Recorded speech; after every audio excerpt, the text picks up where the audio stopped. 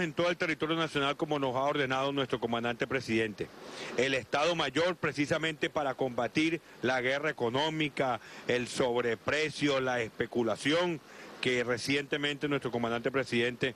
puso en práctica bajo la dirección directamente de nuestro presidente de la República y nuestro vicepresidente Jorge Arreaza. Nos encontramos ahorita aquí en el centro de distribución, el gran centro de distribución del área metropolitana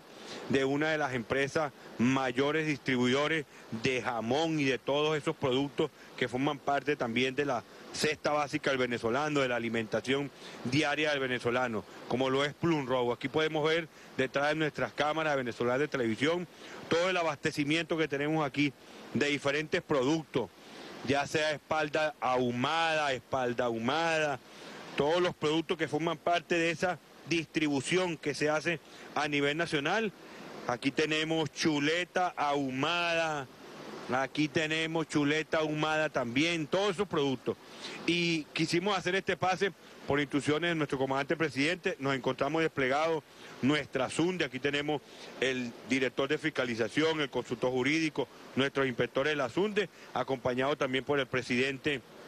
de Plumroy de Venezuela y su directora, su vicepresidenta de Relaciones Institucionales, desplegados en todo el territorio nacional. Y quisimos hacer este pase como parte de la responsabilidad y de la enorme tarea que tenemos el grupo de mujeres que conformamos el Ministerio de, Alimentación, el Ministerio de Agricultura, el Ministerio de Comercio, la SUNDE en ese despliegue para proteger al pueblo venezolano. Aquí tenemos nosotros gran parte de los productos que distribuye particularmente Plum Row, donde tenemos estos productos. Así de esta manera se estaban vendiendo los productos, donde la única escritura que aparece en cada uno de estos productos es la fecha de elaboración, el tiempo de vencimiento y el lote que pertenece cada uno de estos productos.